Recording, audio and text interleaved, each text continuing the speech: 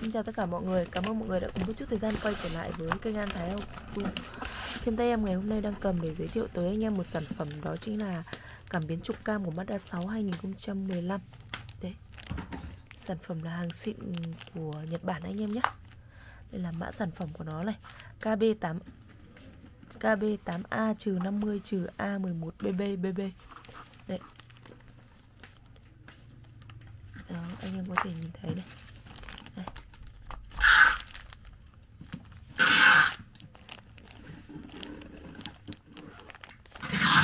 Anh em mà quan tâm tìm hiểu tư vấn về sản phẩm thì hãy liên hệ với em theo số 0856727222 hỗ trợ kiểm tra lắp đặt thay thế tại gara ô tô BNT số 1 ngõ 319 Tam Trinh, số liên hệ là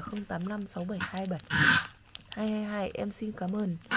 Gặp lại mọi người trong video kế tiếp. Em xin chào.